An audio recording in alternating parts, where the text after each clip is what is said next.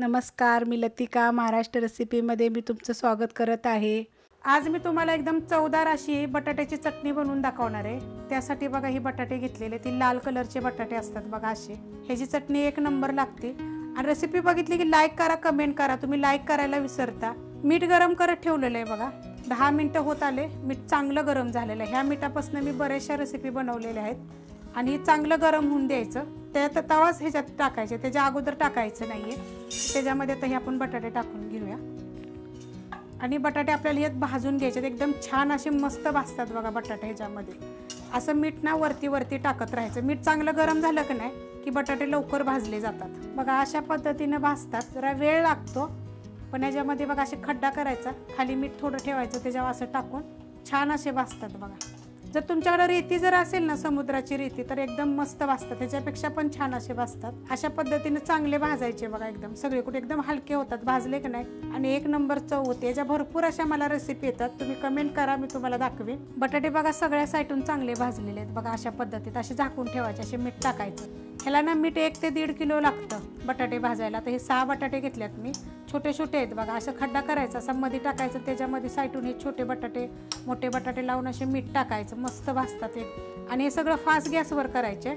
तर असं भाजायला लागलं की आवाज पण येतो थोडासा पण आतून छान असे भाजले जातात बघा मस्त एकदम. आणि चवदार असे लागतात बघा. तर अशा पद्धतीने मी आता भाजून घेते आणि मग तुम्हाला दाखवते. बघा मस्त भाजलाय. सगळ्या साईटून भाजलेला आहे. पण मी अजून थोडा भाजते.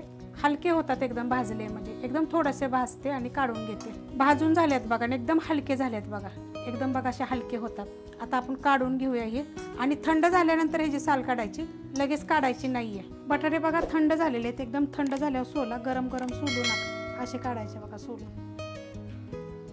छान निघतात एकदम सोलून. बटाटा बघा सोललाय. अशा पद्धतीने भाजून येतो बघ. मस्त भाजलाय बघा. आणि ह्याची चटणी एक नंबर होती. लाईक करायला बिलकुल विसरायचं नाही बरं का? आणि कमेंट करायला विसरायचं नाही. तुम्हाला ह्यापासून कुठल्या कुठल्या रेसिपी पाहिजेत तर तुम्ही मला कमेंट करून सांगा. तर अशा पद्धतीने बघा आपण अजून एक बटाटा सोलून घेऊया. जेवढे बाकीचे आहेत तेवढे मी सोलून घेते सगळे. बटाटे बघा सगळे सोलून घेतलेले आहेत. बघा किती मस्त असे सोलले सोललेत. भाजल्यात किती छान बघा एकदम. आता आपण ह्याची चटणी बनवायची तर त्यासाठी आपल्याला खलबत्ता पाहिजे. खलबत्ता कशाला पाहिजे बघा ही मिरच्या तुमच्या तिखटाप्रमाणे घ्या. आलं घेतलंय बघा एवढंसं. एक गड्डी लसूण घेतलंय लसूण थोडा जास्त असावा. आणि जिरा हलकंसं भाजलेलं आहे जास्त नाही भाजायचं हलकंसं गरम केलंय फक्त. आता हे पहिलं कुटून घेऊया आपण. असं कुटून घ्यायचं बघा दाखवते कसं कुठले बघा. अशा पद्धतीत म्हणजे चव छान येते. आता ह्याच्यामध्ये आपल्याला हे एक एक एक एक टाकून बटाटा कुटून घ्यायचे. एकदम सगळे टाकायचे नाहीत थोडे थोडे टाकायचे बघा.